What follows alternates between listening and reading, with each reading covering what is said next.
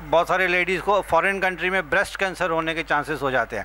हालाँकि वो दारू नहीं पीती हैं सिगरेट नहीं पीती हैं, फिर भी ब्रेस्ट कैंसर हो जाती है। तो अभी तक साइंटिफिकली ये भी हंड्रेड परसेंट प्रूव नहीं हुआ कि अगर आप ये सेवन नहीं करेंगे तो आपको कैंसर नहीं होगा। करिए ना करिए, लेकिन ना करें तो ज़्यादा अच्छा है। But coming to the basic core question sorry आपको मैंने इंटरप्ट किया है अपोलोजाइज फॉर दैट कि आप कुछ बता रहे थे कि death time and date is flexible you mean to से कलयुग के अंदर जो अभी खान पान है, ये खान पान सही नहीं है। जो अपने को जो अनाज मिल रहे है जो भी कुछ मिल रहा है, सब्ज़ियाँ मिल रहा है, तरकारियाँ मिल रही है, अनाज मिल रहा है, वो सही ढंग से नहीं मिल रहा है। क्या मालूम है कि आज अपन इतना अनाज पूरा नहीं कर सकता। इसी के वास्ते संकरित अनाज आया है। संकरित कुछ बियाने आ गए। उसके ऊपर काफ़ी रोग आ चुका है। उसके ऊपर रोग आने से अपन लोगों ने उसके ऊपर बहुत सी बढ़िया प्रक्रिया करके उनके ऊपर दवा मार लेते और वो दवा का असर अपने मानव शरीर पे हो जाता है या जानवर के ऊपर भी हो जाता है, सबके ऊपर हो जाता है। और समय से पहले उनको जो ये बीमारी है जो अपन रोग बोला जाता है, वो पकड़ लेता है। क्यों? जितना तुम विज्ञान आगे चला गया, उतना विज्ञान से अपने को कैसा मालूम है?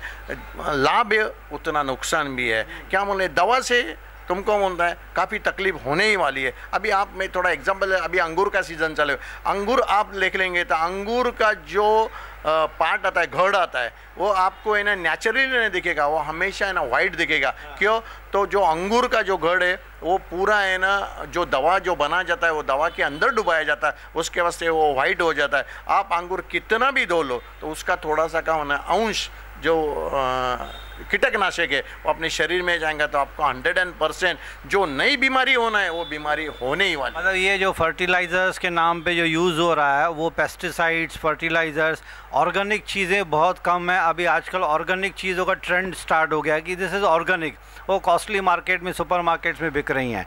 तो जैसे स्वामी गोरखनाथ का कहना था कि ये कैंसरस है पैकेज फूड्स ईट सात्विक फ़ूड राइट सर जी हाँ। सात्विक होममेड फ़ूड होममेड में भी बहुत सारी चीज़ें खाने लायक हैं, कुछ खाने लायक नहीं हैं। तो सात्विक जो वर्ड यूज़ करते थे हमारे ऋषि मुनि हज़ारों सालों से जो सात्विक फ़ूड खाते थे, जिसमें आपके शरीर की जो, अंदर की जो इम्यूनिटी है, वो स्ट्रांग रहती थी।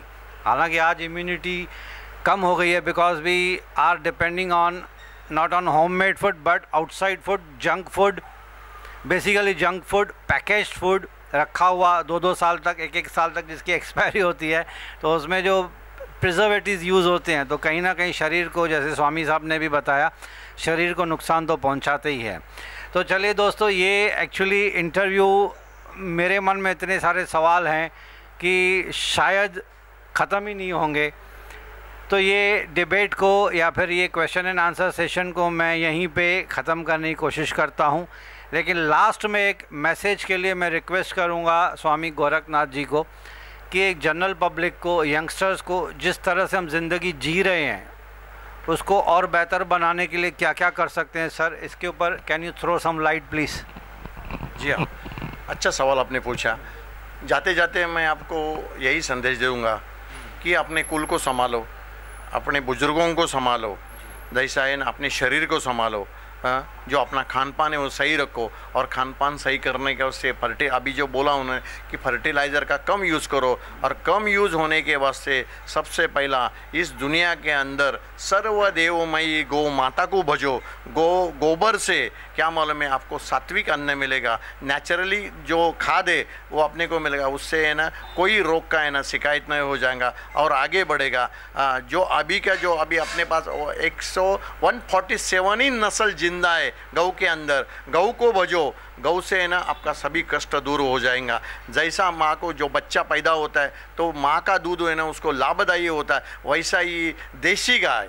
जो गिर गाय है सैवाल है कांकरेज है जो गऊ का जो प्रकार है, वो गऊ का जो दूध उनको पिलाएँगा तो बच्चा बुद्धिमान, बुद्धिशाली और निरोगी बनेगा। यही एक मैं संदेश आपको दे, छोड़ देता हूँ। गऊ को भोजो, गऊ को रक्षा को, गऊ का रक्षा करो, गऊ का कत्ल होना नहीं माँगता। आजकल ज़्यादा से ज़्यादा है ना, इस राष्ट्र के अंदर गऊ कत्ल होके इनका मांस बाहर का विदेशी चला जाता है और इसको उनका है ना काफ़ी मांगनी है और वो लोग मांस स्वादिष्ट से खाता है। हम भी एक गौ रक्षक है, गौ की सेवा करता है। गौ को संभालो, गौ को पालो, गौ को पालेगा तो अपना कुटुंब चलेगा। जैसे अपनी माँ है, जैसी अपनी गृह मंत्री है, वैसा ही एक गौ माता है। गौ माता सर्वश्रेष्ठ है। गौ को वो जो सभी कष्ट दूर हो जाएगा।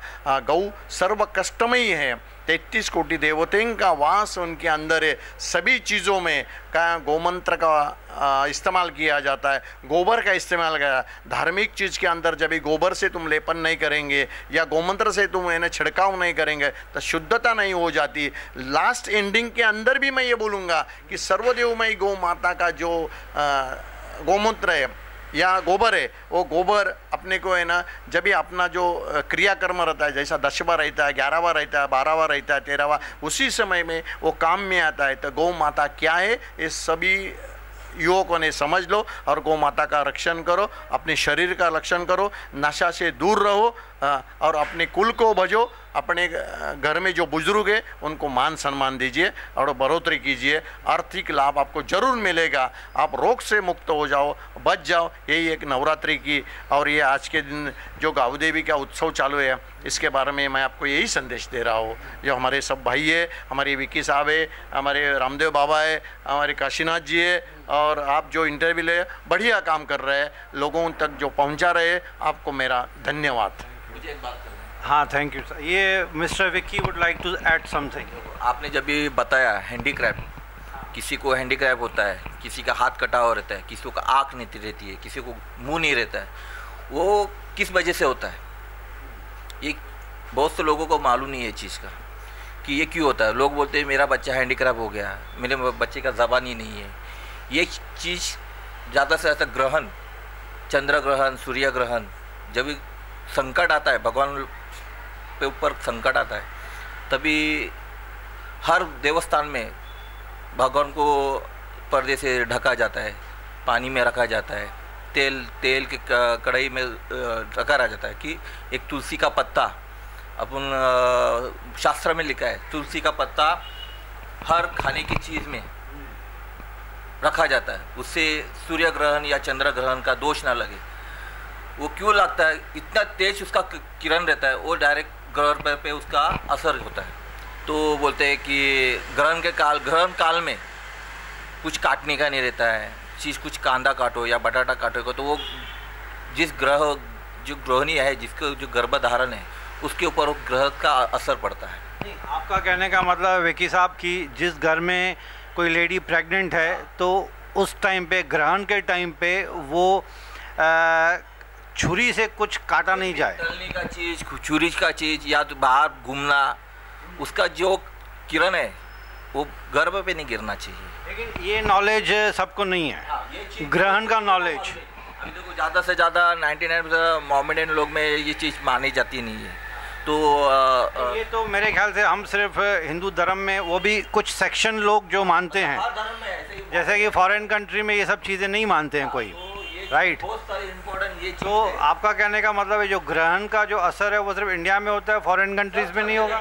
होता है। लेकिन ये गाँव खेड़े में ज़्यादा होता है। सर ये ग्रहण सर सर सर मानने की बात नहीं है। सर ये जो ग्रहण है वो तो यूनिवर्सल मान के चले हम। कि सिर्फ़ इंडिया में ग्रहण नहीं होगा यूनिवर्स को अफेक्ट करेगा ना। कभी ऐसा होता है।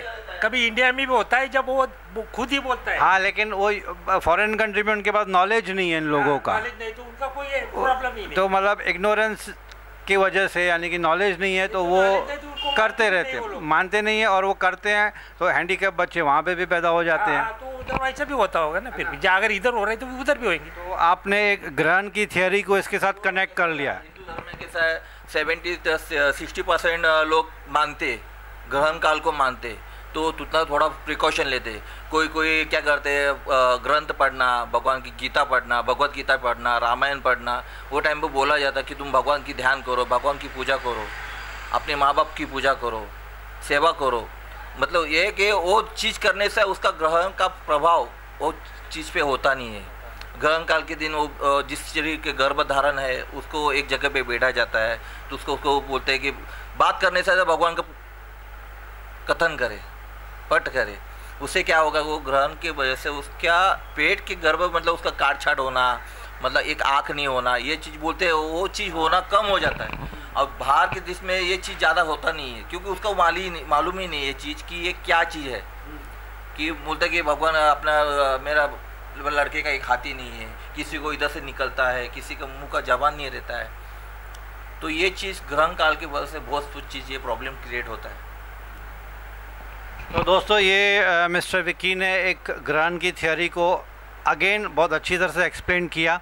And I am thankful to Gorakhnath साहब जी मिस्टर विक्की एंड हमारे Ramdev sir ji for throwing light on the religious aspect बहुत सारे सवाल थे, मन में जिज्ञासा थी क्यूरासिटी थी। अगर कुछ मुँह से अशब्द मेरे निकल गए हों तो मैं आप सब लोगों से माफ़ी चाहता हूँ ऑडियंस से भी माफ़ी चाहता हूँ। हमारा इरादा किसी को ठेस पहुँचाने का बिल्कुल नहीं है। हम रिलीजियस क्लैरिटी के लिए टू प्रमोट हिंदू धर्म and to promote our religious aspect not only in India but across the world हमारा इंटेंशन यही है। आप किसी भी भगवान को मानिए, किसी भी रूप में मानिए। सिर्फ़ ये है कि अपने बड़ों की सेवा कीजिए, किसी का बुरा मत कीजिए। जो नटशल यही है कि आप अपने भगवान को किसी भी रूप में मान सकते हैं, लेकिन किसी का बुरा मत कीजिए। And I pay my sincere thanks from news T V to all of you for participating in this religious question and answer session thanks a lot thank you very much sir